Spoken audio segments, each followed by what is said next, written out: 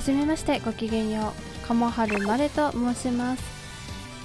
今回は「ウマ娘」のサイレンス鈴鹿の育成を動画で撮っていきたいと思います。よろしくお願いします。こちら星さんのサイレンス鈴鹿覚醒レベル2までしか上げてないんですけどこちらを育成していきます基本的には攻略を見る限りスピード特化で育てていこうと思います。中距離とスピードをメインで育てていきます。継承馬娘はこんな感じです。サポートカードはこのように編成しています。あんまり SSR の貫突など持ってないのでこんな感じになりますね。なるべくスピードを多めにしてあとはパワーと賢さを入れてます。体がとても温かい。継承が完了しました。うんうんうん。うん目標まで11ターンジュニア級メイクデビューに出走。トゥインクルシリーズへの挑戦が始まった。その日学内では模擬レースが行われていた。はっはっはっ序盤から先頭に踊り出し減速するどころかぐんぐんと他を置いていく驚異の末脚。末脚。模擬レースにて完璧な大逃げを見せた彼女の走りで会場中から読みく。逃げで育てていくのでねとんでもない才能が現れたと。ふういい風。風を感じてますね。ふう鈴鹿ナイスランでした。あら大気大気シャトルアメリカからやってきた明るくパワフルな馬娘だ。この子は前ちょっと配信外ですけど育成して短距離とマイルとダート適性がいい馬なんだっけな。やっぱり鈴鹿もクールな顔して気合入ってるんですね。どういうこと？もうすぐデビュー戦ってクラスの子にクラスの子に聞きましたトレーナーさんが決まってトゥインクルシリーズに出るんでしょ？ friend の朗報 very very happy 私応援してますから。ありがとう。ええありがとう。耳ピコピコかわいいな。でも耳緑だよな。うん相変わらずクール。えっとその何を言えばいいのか。じゃあじゃあ鈴鹿の夢が知りたいです。やっぱり三冠ですか？それとも世界中に勇気をとかとか？ええー、っと夢とかは特に。トゥインクルシリーズでも？私は戦闘の景色を見たいだけで。ああもうなんか生まれながらの戦闘狂。それ以外のことはあんまり。おおハイペースマイペースこの会話は周囲にも聞こえていたようで。サイレンスズカってすっごく早かったけどちょっと変わった子だよねあらゆる意味で周囲をざわつかせる模擬レースとなったようだった。天性の馬娘みたいな。トレーナーさ。ここにいたんですね。大逃げ大走行ですね。はい。あんなに自由にコースを走れたのは久しぶりです。まだまだ走り足りないくらい。楽しそうに走っていて嬉しかったよ。嬉しかったですか？私もあなたの走りに見せられた一人だからうんかわいい。これからもあなたには思うように走ってほしい。それこそ他の馬娘を育ててる時サイレンス鈴鹿がすごいビャーって走って先頭を取るすっごい速い馬っていうイメージがあるな。随分信頼してくれているんですね。嘘じゃないよ。いいえそのトレーニング中からなんとなく感じてはいましたから大逃げなんてリスクの高い戦法。うちはなかなかやらせてもらえない。ああそうなんだ。大逃げってリスク高いのか。それでもあなたは私の理想を否定せずに目指させてくれて。ありがとうございます。ですからそのありがとうございます。次はデビュー戦だね。デビュー戦それを超えればきっともっと。うん楽しみにして。うん楽しみです誰よりも走りを愛するサイレンス鈴鹿。そんな彼女と限界を目指す日々が始まった。始まっちゃうのね、うん。ここにいたか鈴鹿。エアグループどうしたの？あ。ああ生徒会主催で下級生のオリエンテーションを行っていたんだがお前と一度会ってみたいと彼女らが聞かなくてな。エアグルーヴの背後何人もの後輩がサイレンス鈴鹿を見つめている。わあ本当に鈴鹿先輩だ。あの大逃げのですよね。かっこいい。えー、っと。有名人じゃん。有名なの？当たり前か。わ私のこと知ってるの？まったく。当然だろう。今やお前に憧れている後輩は少なくない。かっけー。あの鈴鹿先輩よかったら一緒に走ってくれませんか？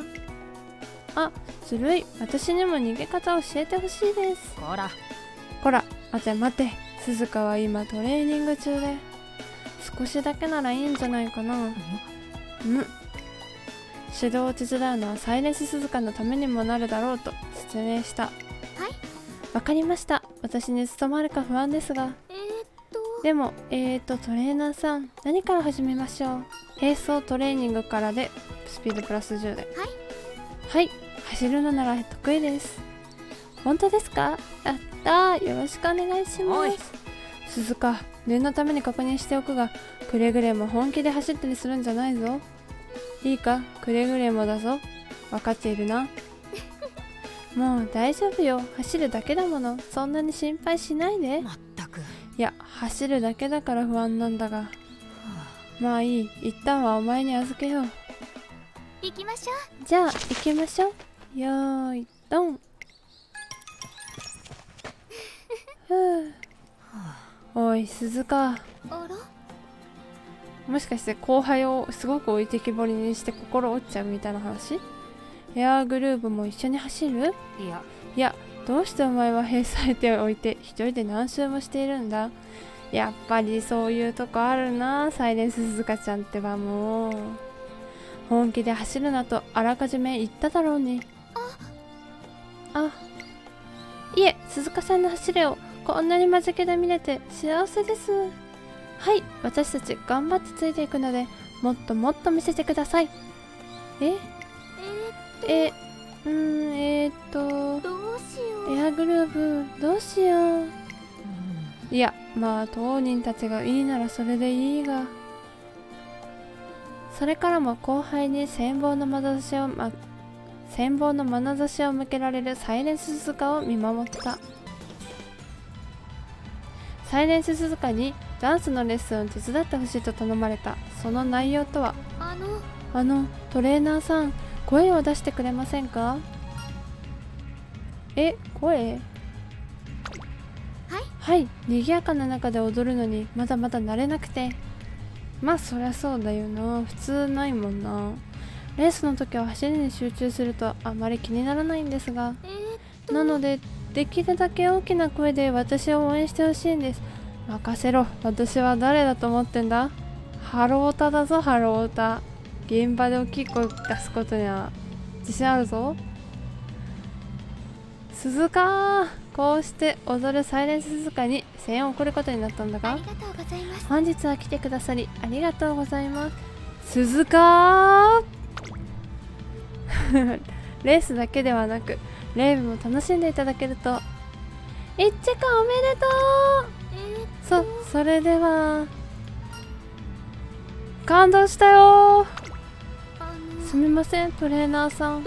やっぱり少し集中できなくてどうしよう。私でもこういうおしゃべりオタクじゃないか。らね鈴鹿とかぐらいなら言うだろうけど。なんか語りかけることないからわかんないな。これも練習だよ。そうよね。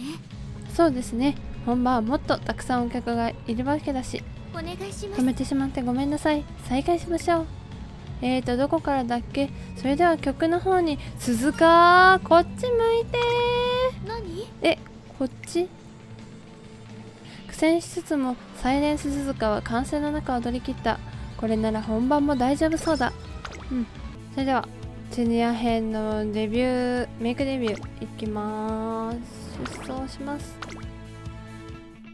いよいよサイレンス鈴鹿のメイクデビュー出走だ。スー緊張してる？いえ。いえすごく楽しみです。今日のレースもこれからのことも。私もだよ。そうですか。うんかわいい。走ってきます。うん。じゃあ行ってきますねここはきてくれ。負けられない一番人気。5い番や一番人気ですよ。実力は完全に上位。レース見ていきましょう。きっと1位であると願って5番です駆ねけ抜けます。ジュニア級メイクデビュー阪神芝 2000m 2000m だから中距離。うん天気もいいですゆったりねと流れる美しい雲、うん。青空広がる阪神レース場。前日に降った雨のため絶好とは言えないやや重発表となりました。このくらいの馬場の方が合っている馬娘もいますからね。虎視眈々と上位を狙っています。3番人気は3番。この評価娘も可愛いんは少し不満かですよね2番人気はこの子このね8番。さあ今日の主役はこの馬娘を置いて他にいない。1番人気サイレンス鈴鹿。気合十分いい顔してますね。私一押しの馬娘です。整いました今スタートが切られました。各馬娘綺麗なスタートを切りました。誰が先頭に抜け出すか注目しましょう。サイレンス鈴鹿と1番。この2人が競り合っているとサイレンス鈴鹿快調に飛ばしていきます。1番人気サイレンス鈴鹿早くも逃げの作戦なので。1番4馬審査7番一番先頭の方に4番並んできた差がなく2番1コーナーからそして2コーナーへ向かっていきます先頭はサイレンス鈴鹿いい走り。飛ばしていきます2番手の位置で先頭を伺うのは1番早くも激しい競り合い3番手4番1馬身離れて2番7番並んできたそれを見るように3番5馬審査9番6番並びかけてきたあとは8番サイレンス鈴鹿先頭を進みますがまあ余裕でしょう。かサイレンス鈴鹿彼女の客室には合っていますね。向こう上面に入って先頭からシングル目でおよそ9馬身。耳が緑なの。も可愛いな。先頭は依然サイレンスアクセサリー感があって1番。後から4番その後から2番3番続いている差がなく7番その後から9番さらに内から6番その後ろから8番。意気揚々と先頭を行きます。サイレンス鈴鹿どうでしょうこの展開いい逃げかかり気味かもしれないです。一息つけるといいですが。集団が一つにまとまって混戦状態です、お互いに牽制し合っているようですね。第4コーナーカーブ。さ勝負どころ最後の直線へとかけていきます。あいよいよ直線だ。どのタイミングでこの BGM 初めて聞いたまだ一馬身以上の差があるとここから捉えることができるのかまだ差があるここから先頭を捉えるとは出てくるのかおやっと見えたスキルだ。スピードの向こう側。静かでどこまでも綺麗な。私が見たかったもの。おーかっこいい差がある追いすがる1番速い。強すぎる。完全に抜け出した。残り200サイス鈴鹿突き放せ逃げるサイレンスリー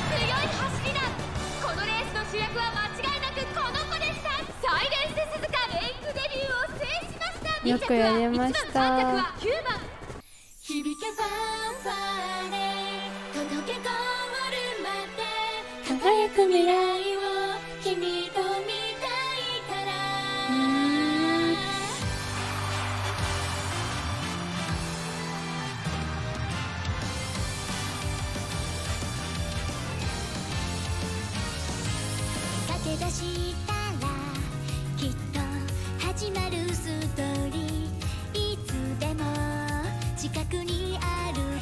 歌も上手なんですねサイレンス鈴鹿さん。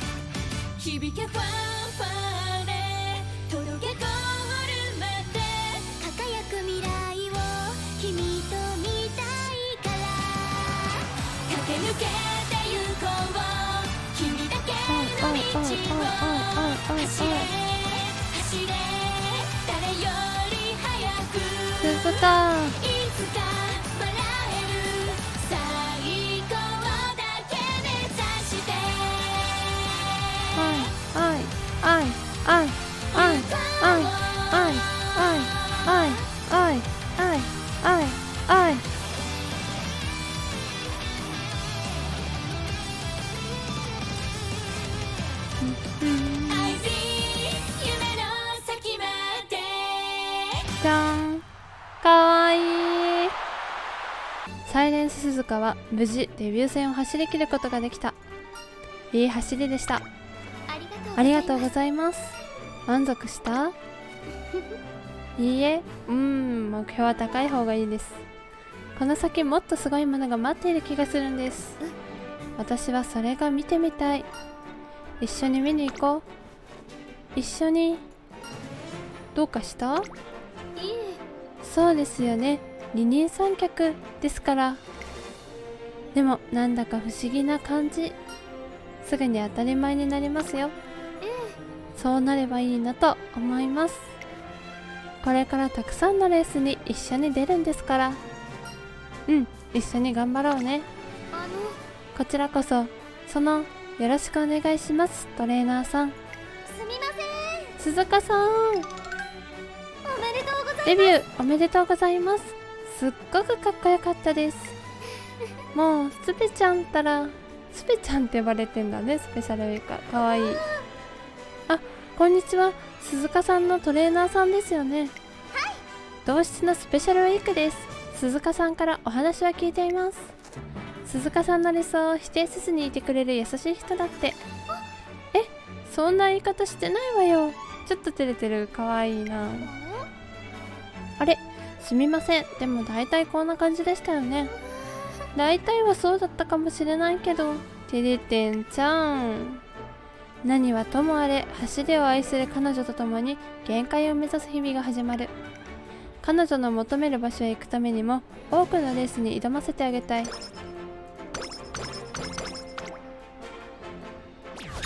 目標達成。うん。じゃあパート1の動画はここまでで終了いたします。次回もお楽しみに。